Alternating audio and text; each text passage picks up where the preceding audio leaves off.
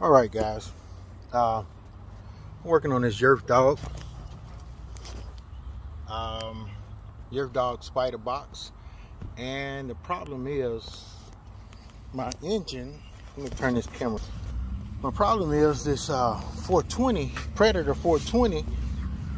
When I go ready to line up the shaft, um, it's not turning the right way. And my spider box had this big 520 gear, I think it's called. And I went and bought a sprocket for it. And they told me it would fit, but it was it would not fit uh, here because they made the motor sit over this way.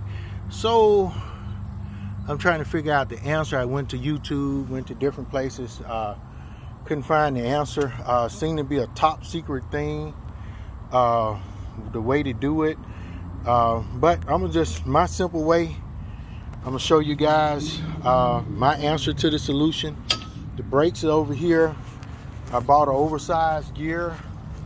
Let me get my oversized gear here. Okay, the problem that I'm finding out, I would have to put my gear right here. And with this gear, um, it needs to set on this side so the engine will be somewhat centered. So it's time to uh, think outside the box and come up with my own answer. Um, maybe this will help somebody out there and I'll show you my solution next.